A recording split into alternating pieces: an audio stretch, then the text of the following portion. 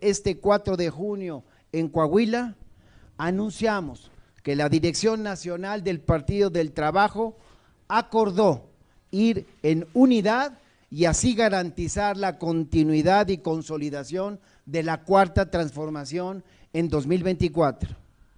El posicionamiento nuestro, por lo avanzado del proceso electoral, no tiene efectos legales. Las boletas, las boletas ya están impresas.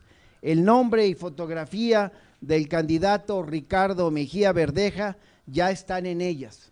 Ricardo Mejía está a la voluntad de la ciudadanía de Coahuila este 4 de junio.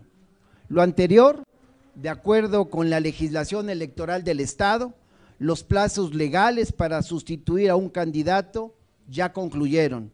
Lo señala así el artículo 150 del Código en la materia.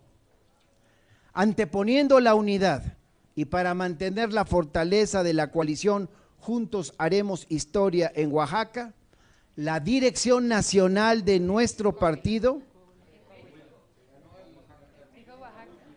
repetiré, anteponiendo la unidad y para mantener la fortaleza de la coalición Juntos Hacemos Historia en 2024, la dirección nacional de nuestro partido manifiesta con firmeza ir juntos con el partido Morena y el Partido Verde Ecologista por el bien de México